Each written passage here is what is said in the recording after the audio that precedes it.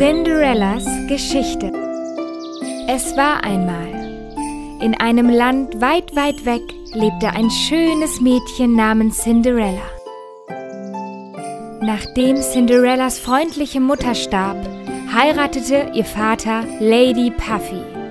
Lady Puffy hatte zwei arrogante, eifersüchtige und streitsüchtige Töchter, genau wie sie selbst. Sie kämpften stundenlang, sogar um etwas so Einfaches wie eine Haarbürste. Ah! Hör auf! Ich hab gesagt, hör auf damit! Gib es zurück! Es gehört mir! Nein, nein, nein! Eines Tages musste Cinderellas Vater eine lange Reise unternehmen. Lady Puffy nutzte diese Gelegenheit, um die ganze harte Arbeit im Haus der armen Cinderella zu geben. Reinigung des ganzen Hauses. Holz zum Kamin bringen. Und die Zubereitung von Mahlzeiten nahm die ganze Zeit von Cinderella in Anspruch. Trotz ihrer harten Arbeit waren Lady Puffy und ihre Töchter grausam. Mutter, Cinderella ist so schmutzig. Lass sie nicht mit uns im selben Raum essen. Genau, denn davon bekommen wir Albträume. Cinderella, du hast gehört, was meine schönen Töchter gesagt haben. Such dir einen Schlafplatz auf dem Dachboden. Die arme Cinderella ließ sich in einem staubigen alten Raum auf dem Dachboden nieder. Aus ihrem kleinen Fenster blickte sie in den Garten hinunter. Und von Zeit zu Zeit sprach sie mit einer schneeweißen Taube. Hallo, süße Taube! Als die Tage vergingen und Cinderella ihr Zimmer auf dem Dachboden aufräumte, traf sie zwei kleine Mäuse. Wer seid ihr klein? Hallo, ich bin Cheddar. Und ich bin Mozzarella. Und ich bin Cinderella. Ihr kleinen Kerle esst gerne Käse, nicht wahr? Ich werde ein köstliches Essen für euch zubereiten. Ja, ja, ja. Wir verhungern. Wir konnten seit 32 Stunden, 20 Minuten, 5 Sekunden nicht mehr in die Küche gehen. Ja, da unten ist ein haariges Monster. Diese böse Katze Papu. Gleich morgen früh werde ich euch beiden ein leckeres Frühstück machen. Am nächsten Morgen ging Cinderella in die Küche, ohne Lärm zu machen. Die gemeine Katze Papu wartete vor dem kleinen Mauseloch in der Küche, um Cheddar und Mozzarella zu jagen.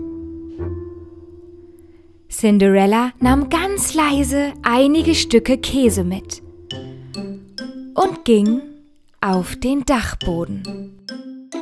Aber dann erwischten sie Lady Puffys Töchter. Was hältst du da in Und der was Hand? machst du damit? Mm, Es ist nur etwas Käse zum Frühstück. Mom, Mom! Mom, Cinderella stiehlt unser Essen. Ich stehle? Ich würde nie etwas stehlen. Ein Dieb und ein Lügner. Was für ein böses Mädchen du bist. Die kleinen Mäuse gingen nach unten und begannen durch die Küche zu laufen, um die bösen Schwestern zu erschrecken.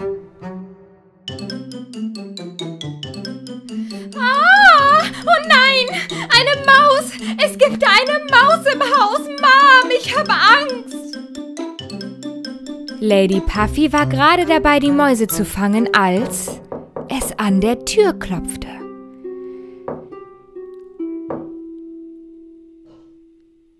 Der königliche Botschafter kam. Äh, seine Majestät der Prinz hat morgen Abend einen großen Ball auf der Burg vorbereitet.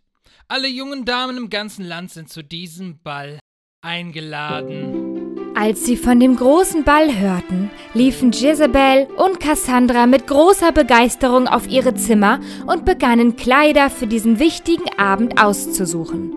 Auch Lady Puffy wollte, dass ihre Töchter schön aussehen. Also zwangen die bösen Schwestern Cinderella schöne Ballkleider für sie zu nähen.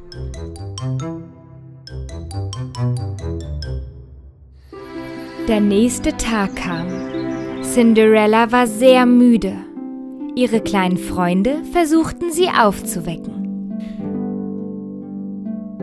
Cinderella, aufwachen! Du musst zum Ball gehen! Aber ich hab nicht mal ein Kleid. Das einzige Kleid, das ich habe, ist schmutzig. Schließ die Augen, Cinderella. Wir haben eine Überraschung für dich. Ihre kleinen Freunde brachten Cinderella in die Mitte des Raumes. Die weiße Taube hob die Abdeckung an der Wand mit ihrem Schnabel an. Tada! Ich kann es nicht glauben. Ein Kleid. Es sieht fantastisch aus. Cinderella zog ihr neues Kleid an, machte ihre Haare und ging schließlich nach unten. Aber ihre bösen Stiefschwestern sahen Cinderella und wurden vor Eifersucht verrückt. Lady Puffy wollte nicht, dass Cinderella zum Ball geht, als sie sah, dass sie schöner war als ihre eigenen Töchter. Also warf sie eine Schale mit Bohnen in den Kamin im Wohnzimmer, damit Cinderella sie wieder aufheben konnte. Wenn du die Bohnen aus der Asche nehmen und innerhalb von fünf Minuten wieder in die Schale legen kannst, kannst du mit uns zum Ball kommen. Cinderella wollte so sehr zum Ball gehen, dass sie anfing, die Bohnen aufzuheben. Ihre kleinen Freunde sahen ihre Situation und kamen, um zu helfen. Innerhalb von fünf Minuten sammelten sie alle Bohnen ein und legten sie wieder in die Schüssel. Cinderella lief Lady Puffy hinterher, die bereits losging, um ihr die volle Schale zu zeigen. Lady Puffy wollte immer noch nicht, dass Cinderella zum Ball geht. Also benutzte sie diesmal Cinderellas schmutziges Kleid als Vorwand. Und sie ließen Cinderella im Haus und gingen weiter zum Schloss des Prinzen. Die arme Cinderella war sehr, sehr traurig. Sie setzte sich in den Garten und weinte und weinte, direkt unter einem Haselnussbaum, den ihre Mutter vor langer Zeit gepflanzt hatte. Und gerade dann begann der Haselnussbaum zu zittern und zu leuchten. Und eine wunderschöne Fee erschien vor Cinderella. Ich heiße Liabel. Ich bin hier, um dir zu helfen. Sei nicht traurig, du wirst auch zu diesem Ball gehen. Aber wie soll ich so zum Ball gehen? Aha, überlass das mir. Hm, ich brauche nur einen Kürbis. Die anderen Dinge, die ich brauche, sind bereits hier. Cinderella kam zurück und hielt einen Kürbis in ihren Händen. Fairy Liabel begann, mit ihrem Zauberstab herumzuwedeln und verwandelte den Kürbis in eine wunderschöne Kutsche. Die Mäuse wurden zu wunderschönen Pferden und die Taube in einen gut gekleideten Kutscher. Cinderella konnte nicht glauben, was sie sah. Die Fee schwang wieder ihren Zauberstab und legte Cinderella in ein schönes blaues Kleid. Auf ihren Füßen erschienen funkelnde Glasschuhe. Ich sehe jetzt aus wie eine Prinzessin. Vielen Dank, Liabel. Jetzt ist es Zeit, zum Ball zu gehen. Beeilt euch! Die Fee warnte Cinderella, bevor sie zum Ball ging. Aber nicht vergessen, du musst um Mitternacht zurück sein, sonst ist die Magie weg und alles ist so, wie es vorher war. Cinderella hörte der Fee aufmerksam zu und ging schließlich zur Burg. Der Kürbiswagen hielt vor der großen Burg an. Cinderella mit ihrer überwältigenden Schönheit betrat die Burg. Die Gäste der Burg sahen Cinderella und fragten sich, wer diese schöne junge Dame bloß war. Weder Lady Puffy noch ihre Töchter erkannten, dass dieses schöne Mädchen Cinderella war. Prinz Leo ging auf Cinderella zu und verliebte sich auf den ersten Blick.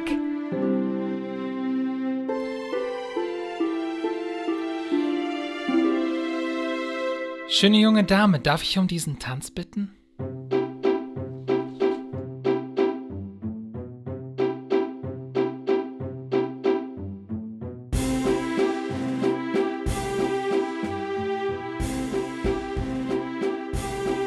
Cinderella war so fasziniert vom magischen Tanz mit Prinz Leo.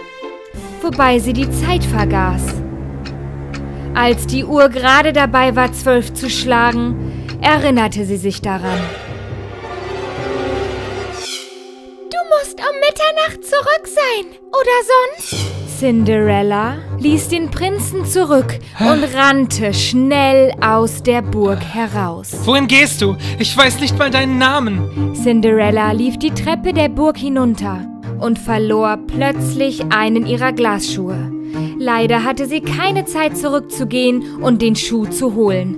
Also rannte sie so schnell wie möglich zur Kutsche und verließ das Schloss. Finde den schönen Besitzer dieses verlorenen Pantoffels. Wenn nötig, soll jedes Mädchen im Land diesen Schuh anprobieren. Als die Uhr zwölf schlug, kehrte alles zu dem zurück, was es vorher war. Cinderella ging zurück in ihr Zimmer auf den Dachboden. Sie dachte an die magische Nacht, die sie mit dem Prinzen Leo hatte, und erkannte, dass sie sich verliebt hatte aber es schien unmöglich zu sein, dass der Prinz sie mit ihren alten, schmutzigen Kleidung erkennen würde. Die Zeit verging und der Prinz ließ eine riesige Villa neben der Burg für den kostbaren Glasschuh bauen.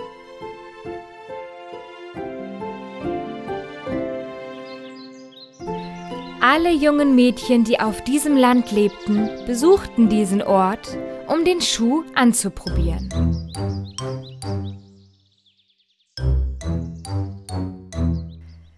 Sogar Lady Puffy und ihre Töchter besuchten das berühmte Herrenhaus, nahmen Cinderella aber nicht mit. Du bleibst zu Hause. Es ist unmöglich, dass der Schuh dir gehört. Richtig. Der Schuh wird entweder zu Cassandra oder zu mir passen. Aber ich bin auch ein Mädchen, das in diesem Land lebt. Ich habe das Recht dazu. Lady Puffy hatte Cinderella nicht einmal zugehört. Sie schloss sie im Haus ein und ging mit ihren Töchtern. Natürlich passten die Glasschuhe weder zu Cassandras Füßen noch zu Jezebels. Ah, wenn ich nur ein wenig mehr versuche, denke ich, dass es passen wird.